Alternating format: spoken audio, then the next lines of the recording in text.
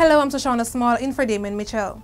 The person of interest who was taken into custody on February 13 in relation to the stabbing death of East Portland Member of Parliament Dr. Lynvale Bloomfield is back in police custody.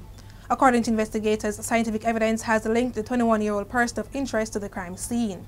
Law enforcement officials confirmed that a total of 20 illegal firearms and a large quantity of assorted ammunition were intercepted at the wharf on Tuesday.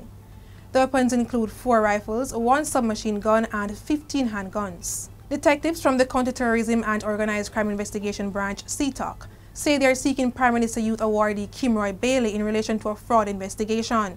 CTOC did not provide details on the nature of the fraud investigation.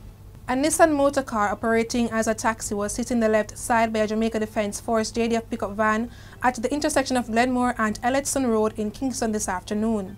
A student of St. George's College who was traveling in the taxi was rushed to the hospital.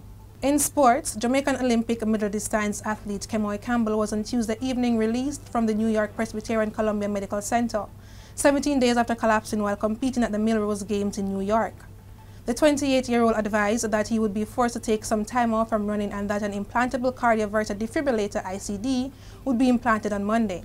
In your currency trading today, one US dollar was being sold for $129.51, the British pound sterling for $173.79, and the Canadian dollar for $98.50. In your weather forecast, on Thursday it will be mostly sunny.